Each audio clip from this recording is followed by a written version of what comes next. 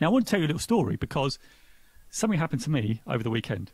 Something, and I just couldn't believe it. Right now, I don't. Now, as you all know, um, my mum passed away. Don't tell me why, but but numbers been going now. I don't know whether I believe this or not, but this is a weird thing that's been happening. So, one of our videos got a two two two views. I'm like, what's that? That's a bit odd.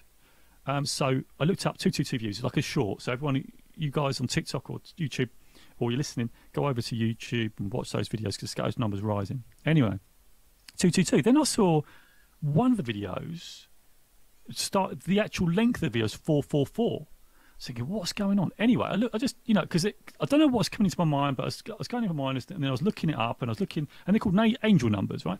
I'm not saying I believe this stuff, but Mum was very religious, right? Mum was very religious. She into, she quite liked, but she quite liked that other side that, um, to a bit about her. She really quite liked, you know, tarot reading, all that sort of stuff. You know, it's a little bit out there.